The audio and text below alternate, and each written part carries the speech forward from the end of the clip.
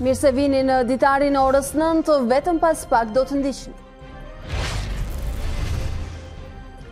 Betohet tek presidenti i Republikës si anëtare të gjykatës kushtetuese Elsa Toska, Marsida Xhaferllari dhe Fiona Papajorgji, Arta Vorpsi e shpalur automatikisht fituese nga këshilli i emërimeve në drejtësi, hedh hapin e paprecedent, betohet në zyrë noterie, pasi nuk e njohu presidenti.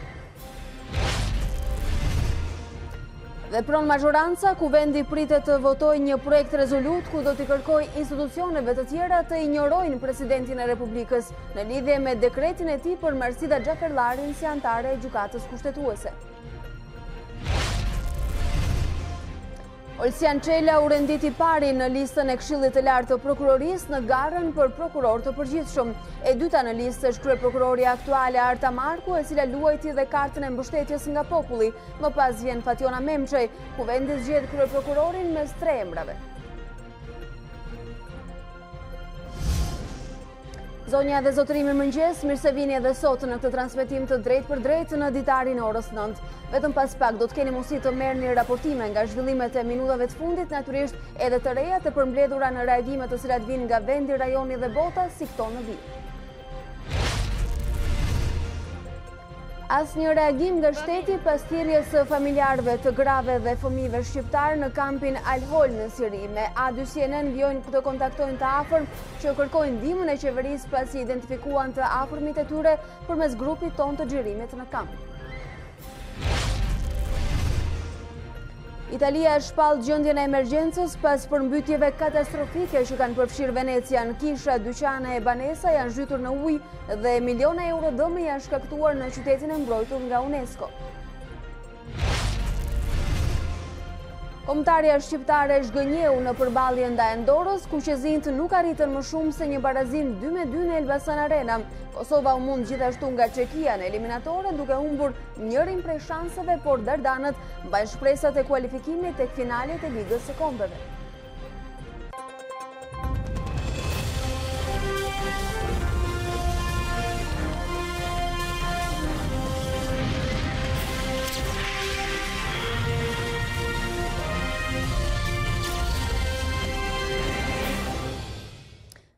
Sikurse ishte njoftuar, u betuan mbrëmjen e djeshme para presidentit, anëtaret e reja të Gjykatës Kushtetuese, Elsa Toska, Marsida Xhaferllari dhe Fiona Papajorgji.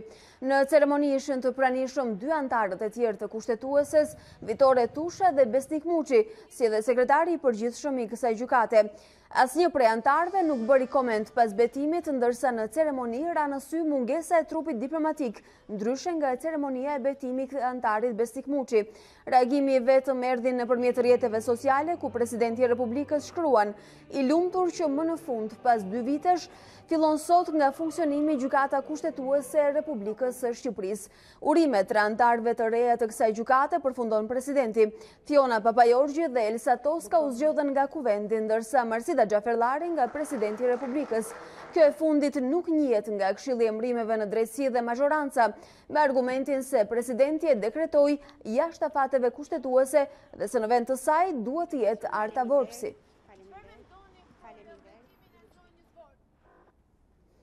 E ndërkohë Arta Vorpsi i kishte thënë A dy CNN se e ndjente veten në detyrë dhe se çështjen do ta zgjidhin institucionet. Por të nesërmen e kësaj deklarate ajo veproi vetë duke shkuar për betim në një zyrë noterie në kushtet e mosnjohjes së saj nga presidenti si anëtare e Gjykatës Kushtetuese. Arta Vorpsi është betuar si anëtare e Gjykatës Kushtetuese në një zyrë noterie. Lajmi konfirmohet nga burime zyrtare pranë Këshillit të Emërimeve në Drejtësi, por dhe nga vetë zyra noteriale ku është bërë betimi. Për këtë procedurë, Vorpsi ka njoftuar institucionin e Presidentit, Këshillin e Emërimeve në Drejtësi dhe vetë Gjykatën Kushtetuese. A dy cnn disponon dokumentacionin noterial të firmosur nga noterja Miranda Xhemalçe e cila garanton se Arta Vorpsi është betuar si anëtare e Gjykatës Kushtetuese përmes një nënshkrimi deklarues. Në këtë shkresë të firmosur prej saj, Arta Vorpsi deklaron. Në cilësinë e gjyqtares së Gjykatës Kushtetuese të emërtuar nga KED dhe të botuar në fletoren zyrtare, me vullnetin dhe gatishmërinë për të ushtruar menjëherë funksionin e gjyqtarit kushtetues dhe me dorën e vendosur mbi Kushtetutë, Betohem, se gjatë kryerjes së detyrave të mia, do t'i qëndroj kurdoherë besnike Kushtetutës së Republikës së Shqipërisë. Burime nga mazhoranca i thanë A dy cnn se procedura është rakorduar me partnerët ndërkombëtarë dhe mbështetet në një rekomandim të Komisionit të Venecias, që i cilëson betimet si akte të thjeshta ceremoniale. Në fund të ditës së punës, për të shmangur komentet mediatike, Vorpsi zgjodhi të largohej nga institucioni nëpërmjet një daljeje alternative. Ndërkohë A dy cnn kontaktoi me zonjën Marsida Xhaferllari, e cila për të njëjtën vakancë u dekretua nga presidenti Meta si anëtare e Gjykatës Kushtetuese. E pyetur nëse është njohur me betimin e Arta Vorpsit para noteres, ajo tha se nuk preferonte të komentonte. Nuk është në natyrën time të përfshihem në debate, aq më pak për natyrën e pozicionit në të cilin jam dekretuar. Presidenca e komentoi me ironi këtë zhvillim, zëdhënësi i Metës tha në mediat sociale se Presidenti i Republikës nuk ndalon askënd të betohet as te noterja e as te parukierja. Tashmë kemi dy pretendente për një karrige të vetme në gjykatën kushtetuese, zonja Vorpsi dhe zonja Xhaferllari, të cilat të dyja mëngjesin e sotëm kanë vendosur të paraqiten në punë madje në orarin zyrtar edhe disa minuta para tij. Do të jetë Elona Gjylmi, reporterja e A2 CNN e cila i ka pritur aty mëngjesin e sotëm për të na dhënë një tablo më të qartë të situatës, çfarë do të ndodhë dhe kush ulet në këtë karrige mëngjesin e sotëm. Elona, mirëmëngjes! Mëngjes Alba, në fakt A2 CNN ishte që në orën 7:30 minuta në dyert e gjykatës kushtetuese për të parë se cila nga zonjat do të mbërrinte në në këtë gjykatë dhe në fakt kanë mbërritur të dyja, po zonja Vorpsi, e cila një ditë më parë bëri betimin tek noteri, erdhi 10 minuta para orarit zyrtar dhe për t'u ulur në zyrën e saj si gjyqtare e Gjykatës Kushtetuese. Për A2 CNN e pyetur gjatë një komunikimi me të, zonja Vorpsi konfirmoi se ishte që prej ditës së djeshme, edhe sot, vinte në këtë gjykatë si anëtare e Gjykatës Kushtetuese. Ndërkohë, në orën tetë, në orarin zyrtar, e përzgjedhura e presidentit Meta, Marsida Xhaferllari, mbërriti dhe mori detyrën.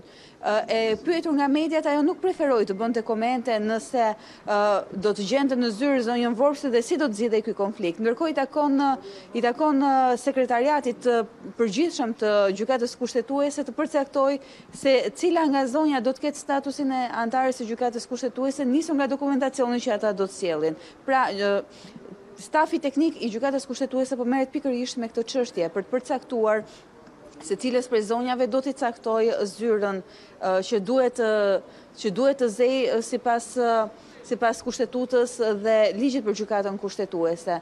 Ajo që nuk dimë është se nëse ka pasur përplasje midis të dyja zonjave që ndodhen besoj në të njëjtën zyrë, zonja Xhaferllari e dekretuara e Presidentit të Republikës dhe zonja Arta Vorpsi e përzgjedhura e Këshillit të Emërimeve në Drejtësi. Megjithatë, ditën e sotme, Kuvendi i Republikës së Shqipërisë do të ketë seancën e posaçme, pikërisht për të dënuar veprimin e presidentit Meta dhe për të përzgjedhur zonjën Vorpsi nëpërmjet, zonjën Xhaferllari nëpërmjet dekretit, por përtej afatit tridhjetë ditor që ai thotë se nuk e ka të përcaktuar në Kushtetutë, por mazhoranca pretendon ndryshe. Elona me sa duket do të duhet të presim një komunikim publik të paktën nga ana teknike për statusin e dy pretendenteve për këtë karrige sot në Gjykatën Kushtetuese. Unë të falënderoj për informacionin paraprak. E ndërkohë siç e theksuam është hedhur në veprim edhe mazhoranca, Kuvendi pritet të votojë një projektrezolutë ku do t'i kërkojë institucioneve të tjera të injorojnë presidentin e Republikës në lidhje me dekretin e tij për Marsida Xhaferllarin si anëtare e Gjykatës Kushtetuese. Projekt-rezoluta e quan këtë veprim të Metës një akt jashtë kompetencave të tij që minon funksionimin e Gjykatës Kushtetuese. Emërimin e Marsida Xhaferllarit si anëtare të Gjykatës Kushtetuese, Kuvendi e sheh si një akt jashtë kompetencës kushtetuese të Presidentit që minon rifillimin e funksionit të Gjykatës Kushtetuese. A dy cnn ka siguruar ekskluzivisht draft-rezolutën që pritet ta votojë në një seancë të posaçme paraditën e së premtes. Kuvendi i Shqipërisë i bën thirrje Gjykatës Kushtetuese dhe të gjitha organeve publike që ngarkohen nga ligji me detyra në kuadër të funksionimit të Gjykatës Kushtetuese të zbatojnë me përgjegjshmëri dhe përgjegjësi detyrat e tyre dhe të mos zbatojnë dekretin nul të Presidentit të Republikës numër njëmbëdhjetë mijë e treqind e pesëdhjetë Datë trembëdhjetë i njëmbëdhjetë dy mijë e nëntëmbëdhjetë.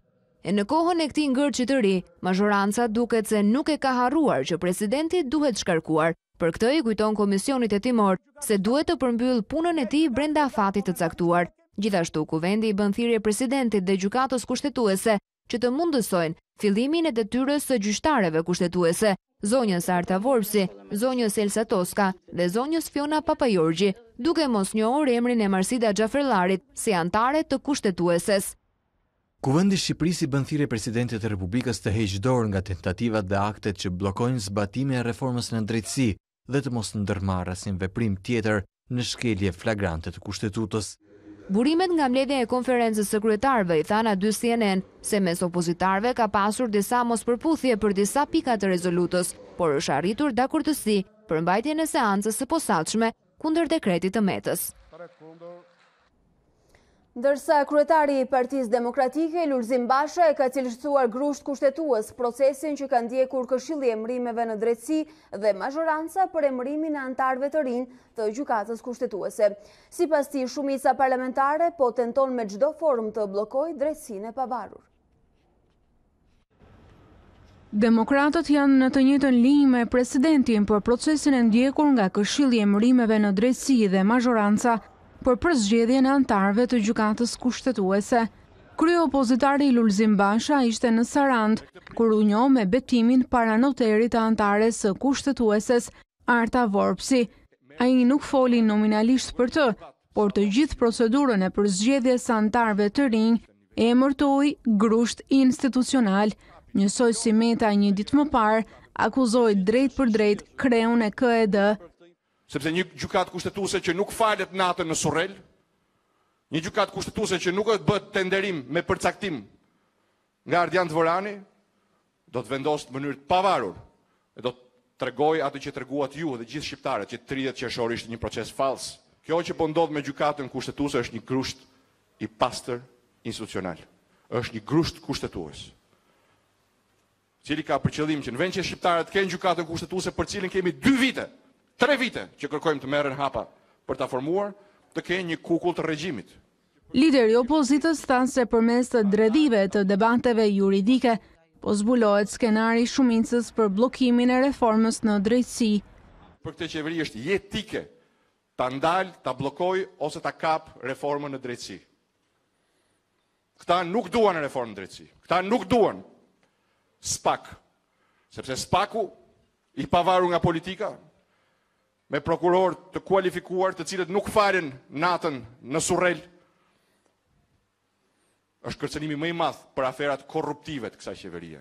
Deklaratat e kreut të Partisë Demokratike Lulzim Basha nga Saranda u ndoqën nga reagimi i sekretarit të përgjithshëm Gazmend Bardhi, i cili tha se betimi tek noteri i kandidates së vetëshpallur si anëtare e Kushtetueses Arta Vorpsi e kthen Shqipërinë në kohët më të errëta të diktaturës komuniste.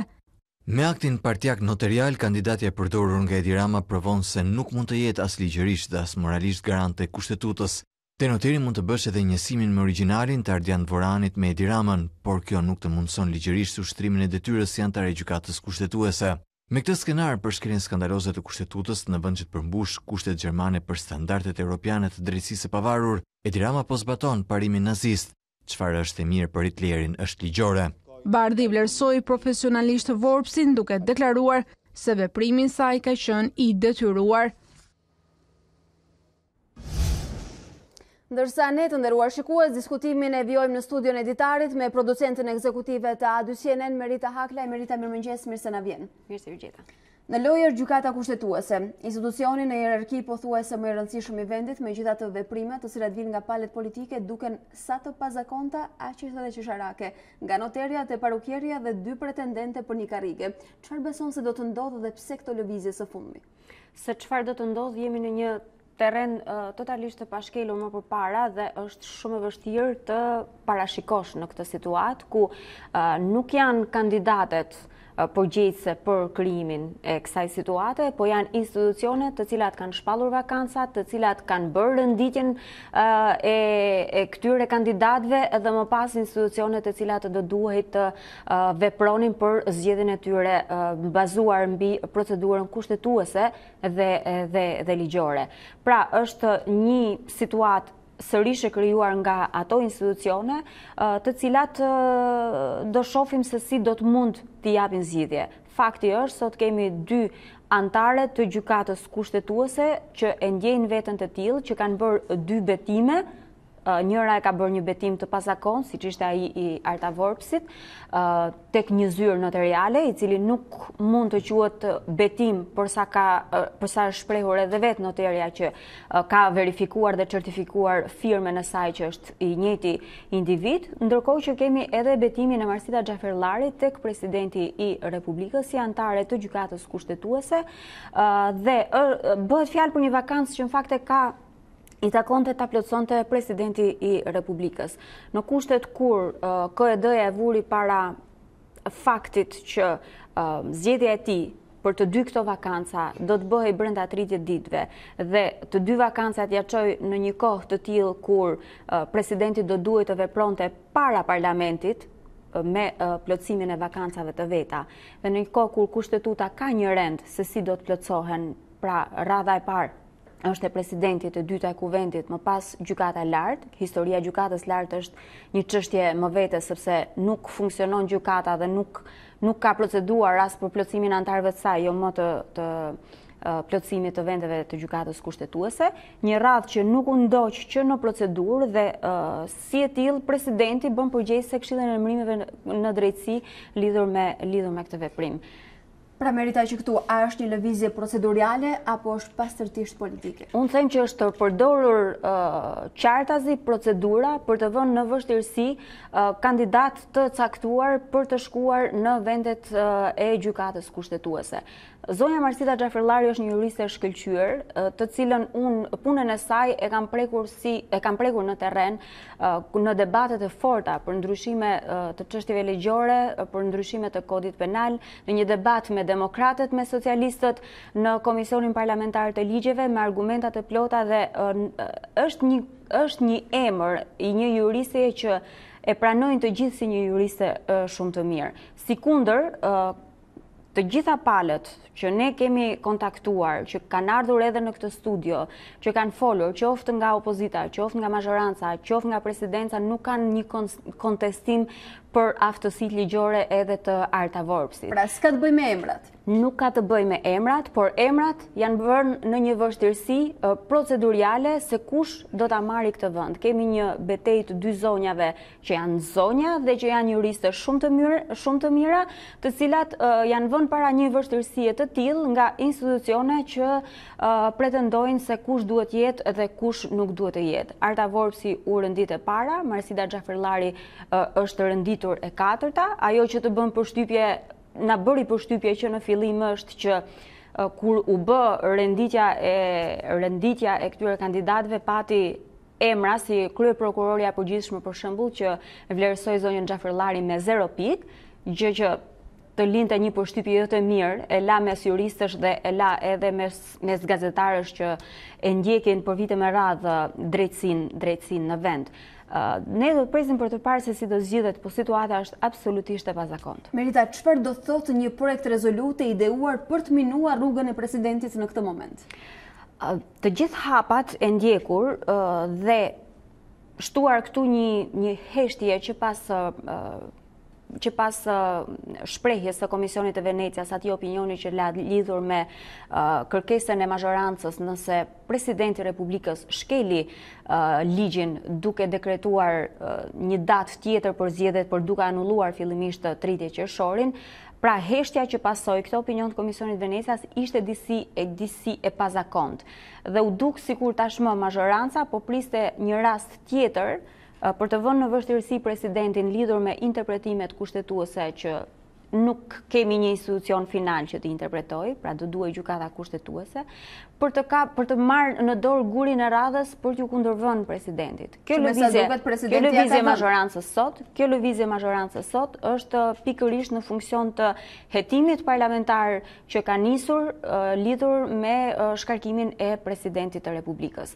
Është një gjë në fakt e parandjerë edhe nga ana e presidencës, të hënën ne kishim në studio Bledi Dervishin, këshilltarin këshilltarin ligjor të presidentit të Republikës, i cili bëri një një një një kundrapunt Pra, nëse kushtetuta nuk i lë një afat presidentit, pasi ky është argumenti ku mbështetet presidenti i Republikës kur thotë që mua, ndryshe nga kuvendi, kushtetuta nuk më ka thënë që ke 30 ditë afat për të përzgjedhur anëtarin e gjykatës kushtetuese.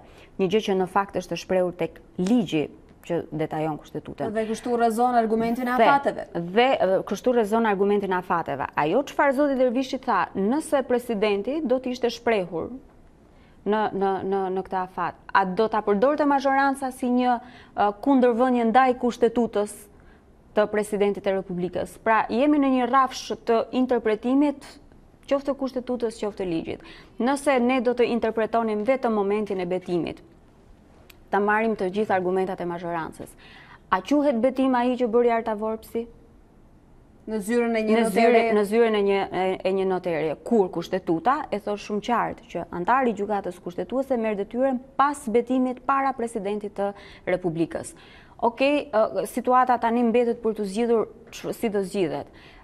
Nëse i referohemi veprimeve që u ndoqën në mungesë të gjykatës kushtetuese lidhur me dekretin e presidentit për anullimin e 30 qershorit, besoj dikush do të shkojë drejt gjykatës administrative për të verifikuar vlefshmërinë e veprimit të presidentit në afat apo jashtë afatit lidhur me dekretimin e Marsida Xhaferllarit. Në këtë rast kush do ta ndërmarrë veprimin? Vetë Arta Vorpsi që synon vendin dhe sot ka shkuar në zyrë bashkë me zonjën Xhaferllari për të njëjtin vend, apo do të jetë këshilli i emërimeve në drejtësi që sërish do të drejtohet pra ai gjykatës administrative për të zgjidhur këtë moment. Neve nuk na takon të gjykojmë për anën ligjore dhe atë proceduriale megjithatë në parim. Mazhoranca flet për një rakordancë ndërkombëtare. A mund të ketë një garanci të tillë që të kemi një anëtare të gjykatës kushtetuese e cila betohet në një notere dhe nesër të ulet në atë karrige me një, le ta themi, konfirmim ose dritë jeshile që vjen nga ndërkombëtarët? Ndërkombëtarët janë fort të angazhuar që gjykata kushtetuese të jetë funksionale. Është një kusht i pakundërshtueshëm dhe të gjithë e kanë pranuar te Bundestagu Gjerman që gjykata kushtetuese duhet të jetë funksionale dhe është një ndër kushtet e para në mënyrë që të ketë një ulje në tryezën e negociatave kurdo që ato kurdo që të ketë një vendimmarrje nga ana e Këshillit Evropian.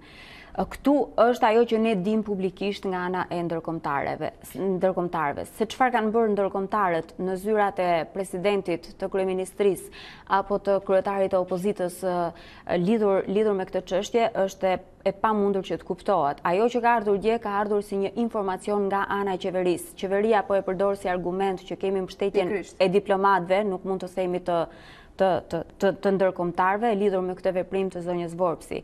Është një veprim që nuk është i shkruar në ligj, është një veprim që nuk është i shkruar në kushtetutë, noteria nuk e ka nuk e ka si në listën e vet të shërbimeve edhe betimet për të marrë funksionet të institucioneve kushtetuese në në këtë vend. Se të kujtoj dikur mazhoranca e quante noter presidentin e Republikës. E quante noter presidentin e Republikës. Në këtë rast pra është një një situatë totalisht e pazakontë dhe ne presim se si do zgjidhet, por është një situatë që zgjon sërish një betejë të fortë institucionale, ku kemi mazhorancën e kryesuar nga Edi Rama dhe presidencën e kryesuar nga zoti Meta. Në këtë rast janë shtuar zotit Meta edhe mbështetja e Partisë Demokratike, e cila ka refuzuar që të merret me emrat, dhe e ka kundërshtuar si totalisht grusht shteti mënyrën se si mazhoranca po vepron duke shfrytëzuar procedurat kushtetuese, procedurat ligjore për të çuar sipas opozitës në institucionet kryesore të drejtësisë së re emrat që ajo do. Ndonëse opozitës jashtë parlamentare, kjo i ka ngelur tani, të ngrejë zërin. Absolutisht. Merita, unë të falënderoj për këtë analizë që solle mëngjesin e sotëm, le të presim për vendimet. Faleminderit.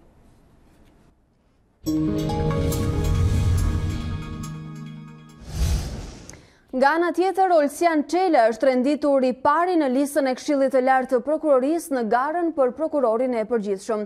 Pas pikëzimit, e dyta në listë është renditur kryeprokurorja aktuale Arta Marku dhe më pas Fatjona Memçaj. Kreu i KLP-s, Gent Ibrahimi, tha se procesi u mbyll me një standard, të cilin shpreson ta mbajë edhe Kuvendi. Në unanimitet të plotë, Këshilli i Lartë i Prokurorëve ka votuar më në fund listën me pikëzimin për tre kandidatët për prokuror të përgjithshëm. I pari që renditet në këtë listë është Olsian Çela, më pas renditet Arta Marku dhe Fatjona Memçaj e treta. Ne sot bëmë aritmetikën dhe vlerësimin, pikëzimin e kandidatëve sipas asaj rregullore të cilën e kemi miratuar që atëherë, që në mars. Ajo rregullore parashikonte që ne do t'i vlerësonim kandidatët përkundrejt katër grupeve të kritereve, një grup kriteresh që kanë të bëjnë me aftësitë e tyre profesionale, një grup kriteresh që kanë të bëjnë me integritetin e tyre personal, një grup kriteresh që kanë të bëjnë me aftësitë e tyre drejtuese menaxheriale dhe së fundi një grup kriteresh shtesë, të cilat do t'i lejonin Këshillit të merrte parasysh disa nuanca në lidhje me personalitetin e kandidatëve. Zoti Olsian Çela, me katërqind e pesëdhjetë e nëntë pikë, Kandidatja e dytë është zonja Arta Marku me katërqind e gjashtë pikë dhe kandidatja e tretë është zonja Memçaj me treqind e gjashtëdhjetë e dy pikë. E pavarësisht vlerësimeve që kanë bërë njëmbëdhjetë anëtarët e Këshillit të Lartë të Prokurorëve për secilin kandidat, duke parë anën profesionale, dinjitetin, por edhe anën menaxheriale të tyre, Kuvendi do të vendosë një emër nga tre anëtarët e përzgjedhur tashmë. votojë atë që ne renditëm të parin. Më katërmbëdhjetë dhjetor do ta kemi prokurorin e përgjithshëm. Tani nuk është më në dorën tonë, është në dorën e Kuvendit, megjithatë nuk shoh ndonjë arsye për mëdyshje për Kuvendin. E nëse Kuvendi nuk do të ketë vullnetin politik për të miratuar me tetëdhjetë e katër vota prokurorin e përgjithshëm të Shqipërisë, atëherë vendimmarrjen do ta marrë sërish Këshilli i Lartë i Prokurorëve, i cili shpall si prokuror të përgjithshëm personin i cili ka pikët maksimale dhe i vlerësuar i pari në listë. Për A dy CNN Antuen Allabani. Hapja e negociatave me Shqipërinë dhe Maqedoninë e Veriut kthehet në agjendën e Bashkimit Europian.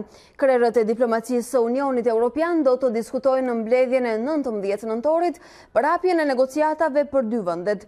Futja në agjendë e këtij diskutimi është bërë me kërkesë të Italisë, e cila ka kërkuar me këmbëngulje që Tirana e Shkupi të marrin dritën jeshile për negociatat. Pritet të shihet qëndrimi që do të mbajë Franca dhe Holanda që kundërshtuan në tetor përparimin e dy vendeve drejt Bashkimit Europian. Ndërsa Këshilli Europian pritet të mblidhet në dhjetor, por nuk do të ketë vendim për negociatat e anëtarësimit. Në samitin e tetorit u dakordësua që çështja e negociatave do të trajtohej para samitit të Zagrebit për Ballkanin Perëndimor që mbahet në maj të vitit 2020. Në ditët e fundit si president i Këshillit Europian, Donald Tusk kritikon presidentin francez Emmanuel Macron për qasjen ndaj Ballkanit Perëndimor. Për të nuk do të ketë sovranitet në Europë nëse rajoni nuk integrohet me pjesën tjetër të kontinentit. I kanë mbetur edhe pak ditë në krye të Këshillit Europian dhe po shfrytëzon kohën e mbetur për të vënë pikat mbi i. Në një fjalim në Kolegjin Europian në Bruzh, Donald Tusk nuk ia kurseu kritikat presidentit francez Emmanuel Macron lidhur me deklaratën se NATO kishte pësuar vdekje cerebrale, qëndrimin e tij ndaj Rusisë, por kryesisht për veton ndaj hapjes së negociatave me Shqipërinë dhe Maqedoninë e Veriut. Lidhur me presidentin francez, një prej liderëve të padiskutueshëm të Bashkimit Europian dhe miku im më i mirë, dua t'i them atij se edhe unë e ndaj të njëjtën ëndërr për sovranitet në Europë. Por nuk duhet të ketë sovranitet në Europë pa një Ballkan të stabilizuar, të integruar me pjesën tjetër të kontinentit dhe nuk duhet të jesh historian për ta kuptuar këtë. Çështja e zgjerimit u rikthye në vëmendje gjatë samitit të Parisit për klimën, ku ndër të tjerë ishin të pranishëm dhe liderët e Ballkanit Perëndimor. Presidenti i Maqedonisë së Veriut, Stevo Pendarovski, tha pas takimit me Macron se Parisi pret që vendet e bllokut të japin opinionin e tyre brenda një ose dy muajve mbi një propozim për reformimin e metodologjisë për çështjen e negociatave. E megjithatë Macron pretendon se nuk po ofron një alternativë ndaj integrimit në Bashkimin Europian. Negociatat e anëtarësimit me Shqipërinë dhe Maqedoninë e Veriut duhet të hapen para samitit të Kroacisë. Kështu u shpreh kandidati hungarez për komisioner të zgjerimit dhe fqinjësisë së mirë, Oliver Varhelyi, i cili shpalosi planet e tij në Parlamentin Europian. Kandidati për komisioner i fqinjësisë së mirë dhe zgjerimit, Oliver Varhelyi, shpalosi planet e tij për Ballkanin Perëndimor në Komisionin për Politikë të Jashtme të Parlamentit Evropian. Në seancën dëgjimore, kandidati i propozuar nga Hungaria, tha se në asnjë moment Brukseli nuk ka vendosur në dyshim përkushtimin e Bashkimit Evropian ndaj këtij rajoni. Duhet të sigurojmë që Maqedonia e Veriut dhe Shqipëria të kenë hapur negociatat e anëtarësimit përpara samitit të Zagrebit. Duhet të punojmë në shqetësimet që lidhen kryesisht me azilin, kërkesat false të azilit që lidhen me korrupsionin dhe pjesë të tjera të sundimit të ligjit. and other parts of the rule of law. Ai theksoi gjatë seancës dëgjimore se do të bashkëpunojë me autoritetet në Tiranë dhe Shkup për të hequr këto shqetësime dhe që të përmbushin kushtet e kërkuara, ndërsa ngriti problemin e largimit të trurit nga Ballkani Perëndimor, siç konsiderohet ndryshe emigrimi i punonjësve të kualifikuar. The numbers are very critical. Shifrat janë shumë kritike. Ne kemi vërejtur se rreth dyzet për qind e popullatës në Ballkanin Perëndimor është larguar, dhe ata janë të gjithë profesionistë të rinj, të cilët mund të bëjnë që ekonomia të punojë. Ne duhet t'i tërheqim pas ata. Kandidati foli edhe për dialogun mes Kosovës dhe Serbisë, për të cilin nënvizoi se duhet të përmbyllet brenda dy mijë e njëzetës me një marrëveshje. Varhelyi është emri i dytë i propozuar për komisioner nga Hungaria. pasi i pari u refuzua nga Parlamenti Evropian. Pak publicitet dhe kthehemi bashkë me tjera informacione. Rikthehemi bashkë të nderuar miq për të ndarë të tjera informacione. Prej disa ditësh A dy CNN në një përpjekje për t'i dhënë zë grave dhe fëmijëve të harruar në Siri, solli dëshmitë e tyre nga kampi Al-Hol. Përtej misionit për të thënë një të vërtetë që u tentua të mbulohej nga propaganda si në rastin e Alvin Berishës, është e qartë se jeta e atyre njerëzve është rrezikuar çdo ditë nga kaosi i luftës që sundon në Siri. Fëmijë dhe gra të rrëmbyera nga familjarët e tyre, viktima të një lufte që nuk u përket. Por ajo që vlen të theksohet është se sot Ata janë të braktisur nga shteti i tyre. Dëshmitë e tyre dhe familjarëve kanë rënë në vesh të shurdhër. Autoritetet shtetërore të njëjtët personazhe që nxituan të marrin meritat për operacionin e shpëtimit për Alvin Berishën, sot heshtin. Është e vërtetë që ndoshta ato nuk mund të hyjnë në disa vende që ne gazetarët kemi më shumë guxim apo mundësi, por ama ky shtet dhe kjo shoqëri nuk mund të rrijë e shurdhët ndaj thirrjeve për ndihmë të fëmijëve dhe grave të burgosura në kampet e pasluftës. Të harruarit e Sirisë, këto fjalë mund t'i përshtateshin më së miri grave dhe fëmijëve shqiptarë që mbijetojnë në kampet e pasluftës në një nga konfliktet më të ashpra të botës, ku me qindra mijëra njerëz kanë humbur jetën. A ka shqiptarë këtu? Grupi i xhirimit i A2 CNN udhëtoi larg për gjetjen e tyre pas publikimit të historisë së Alvin Berishës. Një nismë që mbart rreziqet e saj për shkak të konfliktit konstant në Siri, por që ia doli të sjellë zërat e njerëzve që konsideroheshin të humbur, gjithçka falë kurajos së gazetarit Julian Kasapi dhe operatorit Indrit Myftari, të cilët qëndruan për orë të tëra në kërkim në një terren të pasigurt jashtë kontrollit të forcave ushtarake turke. Për ta kuptuar më qartë pasigurinë në të cilën u gjendën Juli dhe Indriti, mjafton të thuhet se ky shpërthim me bombë ndodhi vetëm pak metra hotelit ku ata qëndruan para hyrjes në kamp. Për të qenë më të qartë mbi rrezikun që morën përsipër Juli dhe Indriti, mjafton të sillen raportimet e mediave më serioze ndërkombëtare, të cilat e përshkruanin kampin Al-Hol si një kasaphanë ku çdo ditë Ndodhnin vrasje dhe konflikte. Falë përpjekjeve për mbi pesë orë në kamp, në kërkim të të harruarve të Sirisë, pikërisht në momentet e fundit, kur forcat kurde kishin mbërritur në kamp dhe i kërkonin të dilnin, fati e desh që të gjendeshin përballë grave dhe fëmijëve shqiptarë. Tashmë zërat e grave dhe fëmijëve që ende jetojnë në kampin Al Hol janë një dëshmi që nuk mund të injorohet dhe as të përcillet me indiferencë. Ne tani kërkojmë nga shteti se shteti që një vit që i vijmë këtu, e ne i bëjmë lutje shtetit, e jemi të nevrikosme, e jemi të mërzitme, nuk na ka vënë vesh shteti. Ka i themi, ishalla na merr prej këtu se na thonë rrimë o të. Babi im kush? Babi? Kush babi? Nuk e di.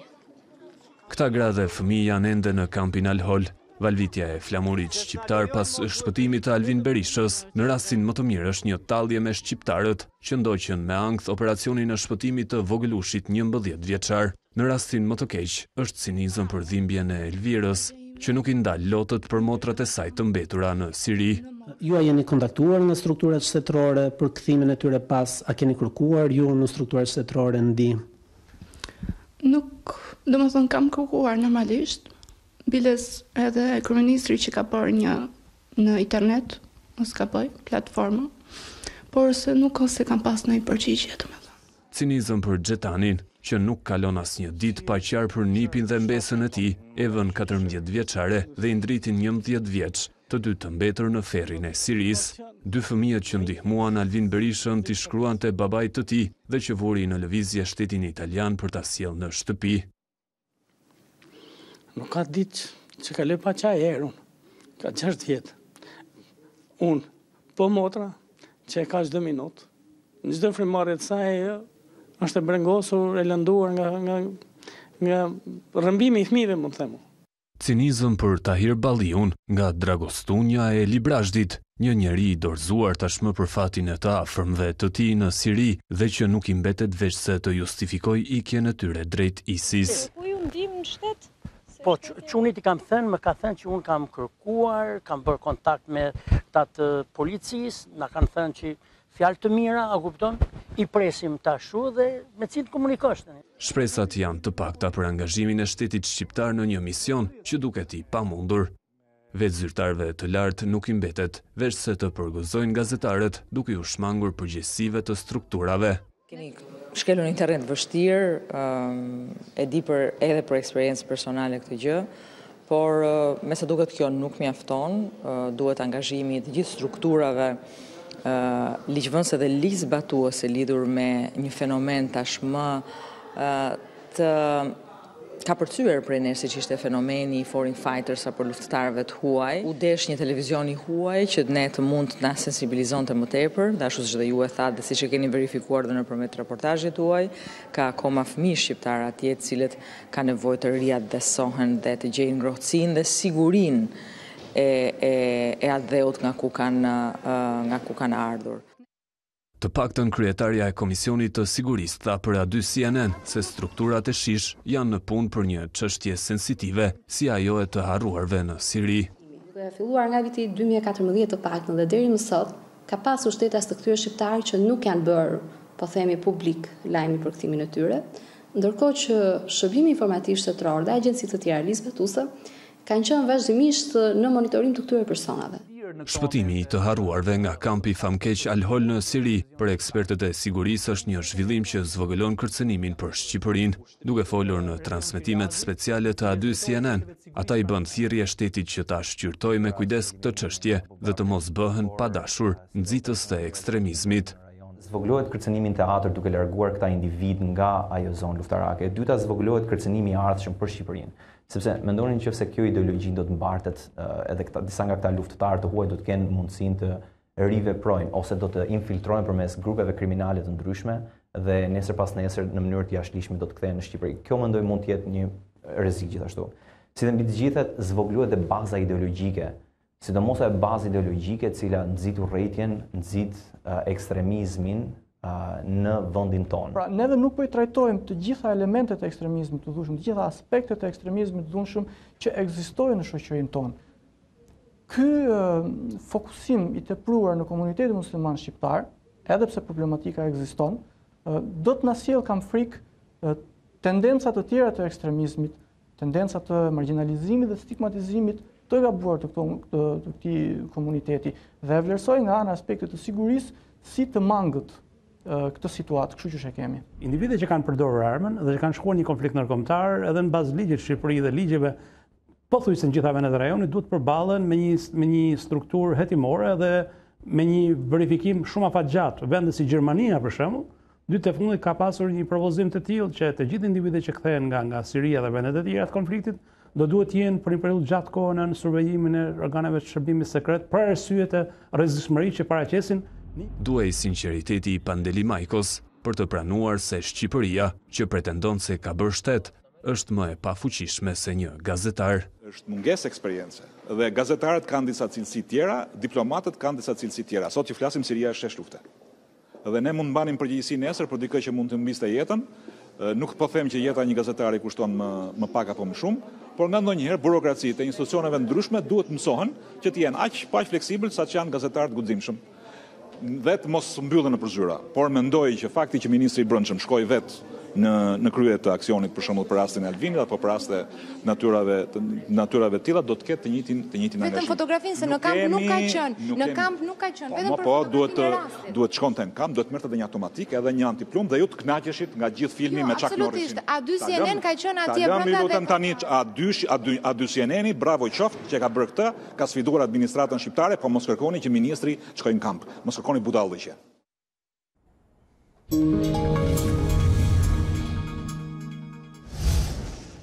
Njihemi dhe me zhvillimet ndërkombëtare, një 16 vjeçar dyshohet të jetë autor i sulmit me armë zjarri që tronditi të enjten Kaliforninë.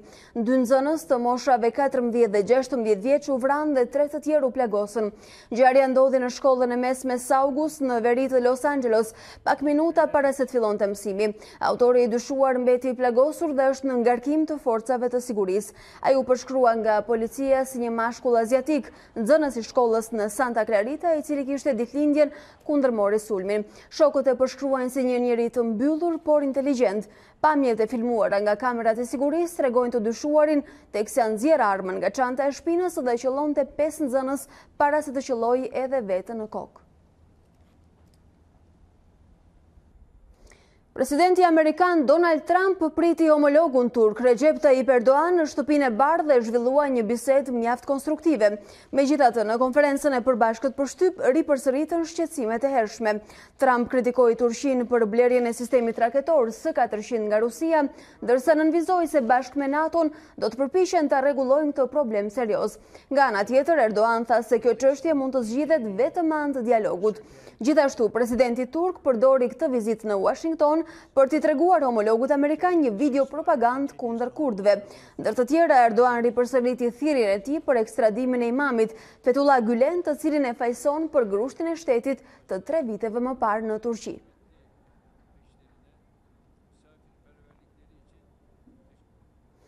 Ndërsa Italia shpall gjendjen e emergjencës pas përmbytjeve katastrofike që kanë përfshirë Venecian. Kisha, dyqane dhe banesa janë zhytur në ujë dhe miliona euro dëme janë shkaktuar në qytetin e mbrojtur nga UNESCO. Italia shpalli gjendjen e emergjencës në Venecia pasi niveli i ujit në qytet arriti një pikë tetëdhjetë e shtatë metrat, duke përmbytur bazilikën historike dhe duke sjellë ndërprerje të energjisë elektrike. Më shumë se tetëdhjetë për qind e qytetit të mbrojtur nga UNESCO ishte nën ujë kur batica arriti pikun. Kryeministri italian Giuseppe Conte i përshkroi përmbytjet si një goditje në zemër të vendit dhe njoftoi lëvrimin e shpejtë të fondeve për lehtësimin e situatës. Ai tha se qeveria do të përshpejtonte ndërtimin e strukturave mbrojtëse në qytetin lagunë, duke iu referuar kryesisht të ashtuquajturit Projekti Moisi, një sistem barriere hidraulike që do të mbronte Venecian në rastin e rritjes së nivelit të ujit. Projekti është shoqëruar me polemika dhe skandale, por jemi në fazën finale të tij. Nuk kemi rrugëzgjidhje tjetër, veçse ta përfundojmë në mënyrën më të shpejtë dhe efikase. Sono stati spesi tantissimi fondi. Me shpalljen e gjendjes së emergjencës personat e prekur mund të sigurojnë deri në pesë mijë euro dëmshpërblim ndërsa bizneset deri në njëzet mijë euro.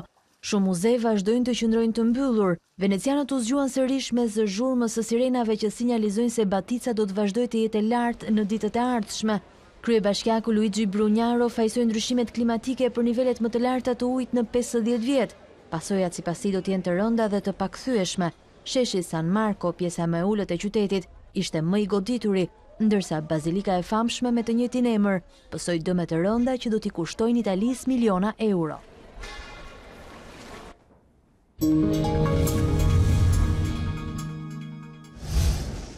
Ndodhi pikërisht ajo që i frikësohej trajneri Reja, Shqipëria nënvlerësoi kundërshtarin dhe barazoi dy me dy përballë modestëve të Andorras në ndeshjen që u luajt në Elbasan Arena, të vlefshme për eliminatoret e Euro dy mijë e njëzet.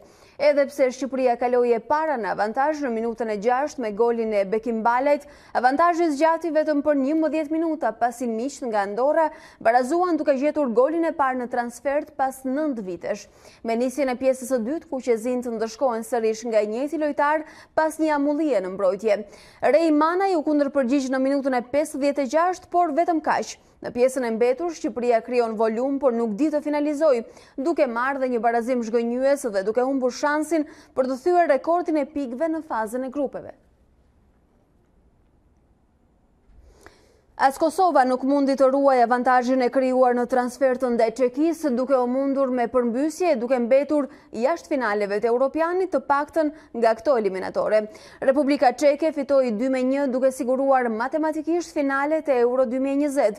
Ndërsa vuante presionin e vendasve, Kosova befasoi duke kaluar në avantazh me golin e sulmuesit Atdhe Nuhiu në pjesën e dytë. Megjithatë, çekët Reaguan shumë shpejt. Vetëm pak minuta më vonë realizuan dy gola të shpejtë duke e vulosur kualifikimin e tyre. Dardanët mund të kenë djegur shansin e tyre të parë, por jo ëndrrën e kualifikimit në Europian. Kjo pasi ata do të luajnë në muajin mars play-off-in në Ligën e Kombeve ndaj Maqedonisë së Veriut. Ë nëse do ta fitojë këtë takim, do të ndeshet në finale me fituesin e çiftit Gjeorgji-Bjellorusi. Fituesja e kësaj finale do të sigurojë një vend në kampionatin europian.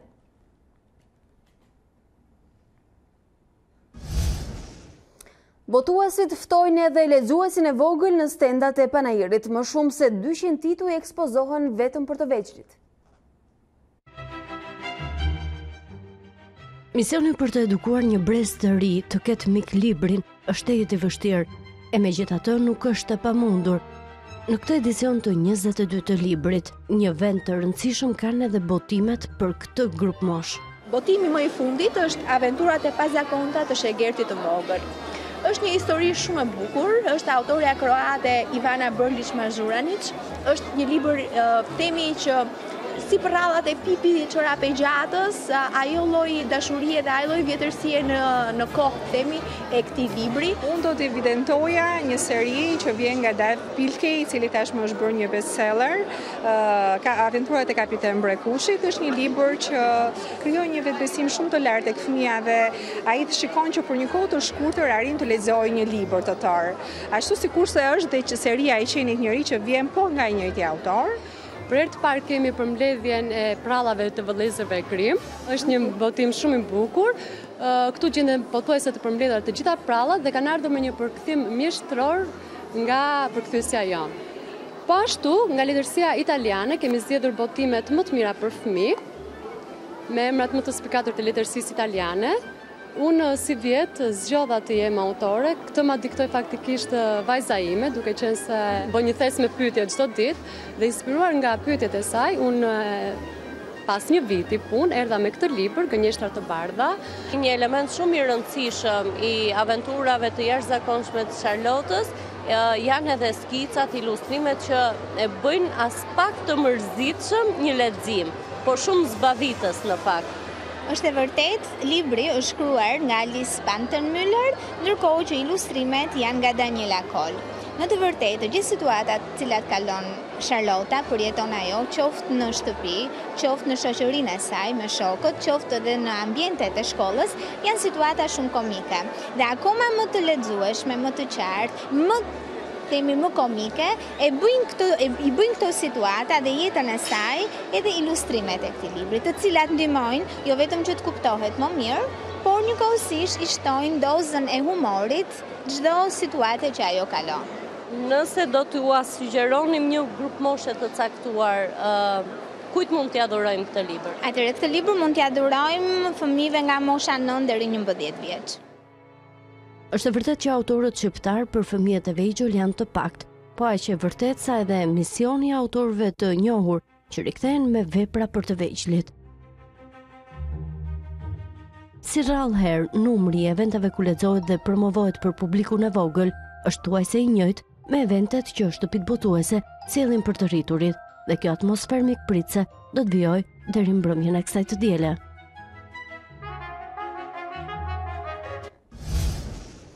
A na rikthehet dielli sot dhe nëse po a qëndron në fundjavë na e thotë Tanja Porja mëngjesin e sotëm. Tanja mirë se na vjen. Mirëmëngjes Alba, mirëmëngjes shikues A2 CNN, në fakt ditën e sotme presim më shumë kthjellime, kthjellime do jenë më të dukshme në zonat lindore, por edhe në perëndim, megjithatë në perëndim, herë pas here do kemi shfaqje të vranësirave të shpeshta të cilat krijojnë mundësinë për reshje të pakta dhe të përkohshme në skajet jugperëndim dhe veriperëndim të territorit. Edhe kjo fundjavë nuk është se sjell shumë ndryshime në tablonë e motit në territorin shqiptar, mbetet me kthjellime dhe vranësira akoma më të shpeshta sesa dita e sotme, megjithatë mundësitë për reshje janë të pakta dhe vetëm në zona të izoluara. Kjo situatë deri vonë në mbrëmjen e së dielës ku presim një tjetër sistem me reshje deri mesatare do të thosha, por është një sistem i cili kalon shumë shpejt, pra mbrëmjen e së dielës dhe deri uh, paraditen e së hënës, nga zonat perëndimore gradualisht deri në zonat lindore, pra në disa orë kalon ky sistem me reshje dhe më pas presim që të kthjellohet moti. Temperaturat nuk sjellin ndryshime të ndjeshme, jo vetëm sot, por edhe gjatë fundjavës, Pritet që vlerat minimale në rang territori të zbresin deri në katër apo në zona të thella edhe 3 gradë Celsius, por maksimumet mbeten mbi 20 gradë Celsius sot, por edhe në fundjavë. Ky është informacioni Alba deri në këto momente këtu në A2 CNN. Moti i paqëndrueshëm me sa duket, megjithatë temperatura të larta, ne Tanja të falënderojmë që na mban të mirinformuar gjithmonë. Dhe kështu kemi ardhur në fund të ditarit të këtij mëngjesi, unë ju falënderoj që na zgjodhët dhe na ndoqët, bashkë ritakohemi në 13, deri atëherë vazhdoni qëndroni me A2 CNN.